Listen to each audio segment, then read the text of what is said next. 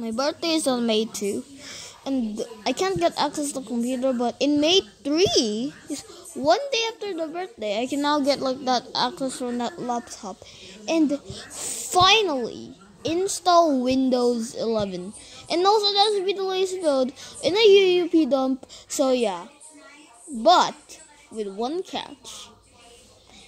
If it was, no, if it's May 3, and I have to insert on a UUP dump on on another computer. No, I'm joking.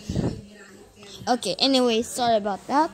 Okay, I will do an install of Windows 11 on a time lapse, but here's the catch.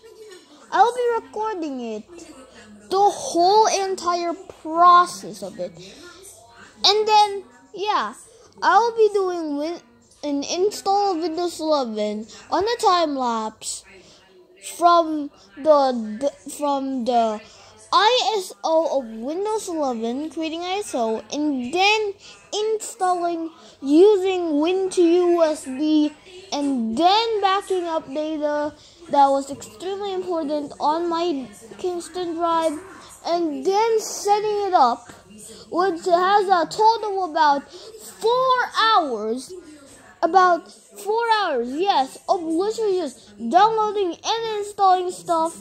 And then we still need to like wait from, you know, we still need to build. Like that will take ten minutes. So basically, I'll be doing a live stream, not live stream, but a time lapse of Windows 11 installing straight. Yes, the time lapse will be literally straight, literally straight. Yeah, you heard me right straight up, non-stop. Yeah, I'll be in someone someone non-stop without just stopping once. Yeah, you heard me right.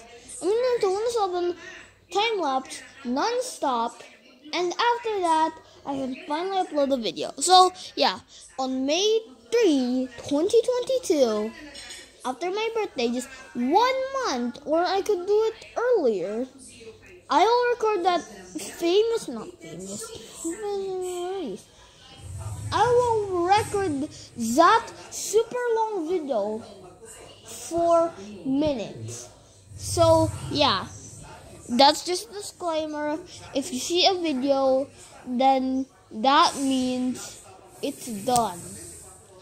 I'll upload it on this channel about installing Windows 11 non-stop without even stopping once. And it has to be the latest update of Windows 11 with updates installed.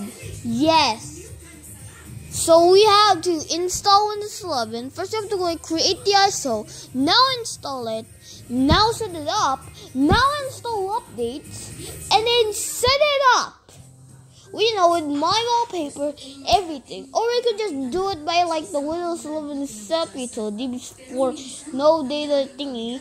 So yeah, that's just a disclaimer that we're gonna be doing this on May 3, 2022. But it could be earlier. So if you see a video now on May 3, 2022 or earlier than that, that means I now uploaded that video. So yeah. Just hope for the best.